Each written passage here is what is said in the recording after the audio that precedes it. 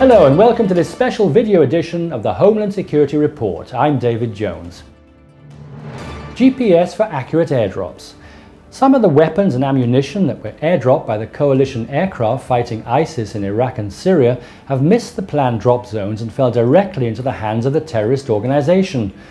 This was no surprise as the precise airdropping of supplies has always been a challenge. While high altitude airdrops often miss the target, low-level paradrops face significant dangers from enemy fire, yet reduce delivery range. In recent years, technology has helped in solving the technical issues.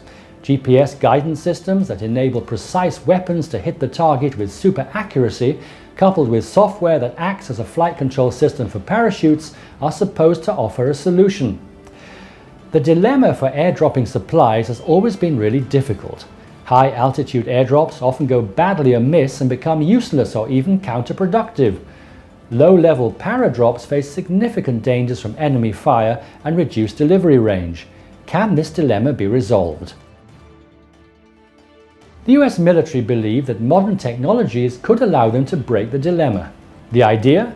Use the same GPS guidance that enables precision strikes from Joint Direct Attack Munition, JDAM bombs, coupled with software that acts as a flight control system for parachutes. JPADS Joint Precision Airdrop System has been combat tested successfully in Iraq and Afghanistan after moving beyond the test stage in the US and elsewhere. After being dropped from high altitude, JPADs use GPS and a guidance, navigation and control system to accurately fly itself to a designated location point on the ground. Its gliding ram air parachute lets it land at a significant distance from its point of release, while its guidance allows high altitude airdrops to a single location or multiple locations at one time within an accuracy of 50 to 75 meters.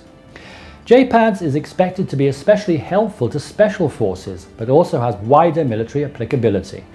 The overall program has been pursued as a joint effort by the US Army and US Air Force since 1997.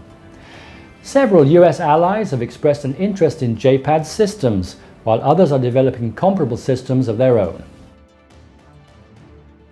The Israeli Air Force does not wait. As a major pillar of the Israeli Defense Forces, IDF, its Hercules C-130 aircraft are tasked, among their various missions, with supplying long-range ground forces with ammunition, food and water. In recent weeks, the Israeli Air Force is testing a GPS-based system that can bring a ton of cargo hanging from a parachute to a mere 150 meters from the designated drop zone. The IAF's Flight Test Center is testing a system that allows it to know the exact position of the drop cargo and in addition enables it to control its descent. With the Depth Command's list of potential missions, the ability to perform precise airdrops in minimum risk to the aircraft is a crucial operational capability. Well, that's it for this week. Thank you for watching this special edition of the report. See you at the same time, same place next week, and for further information, click the link below.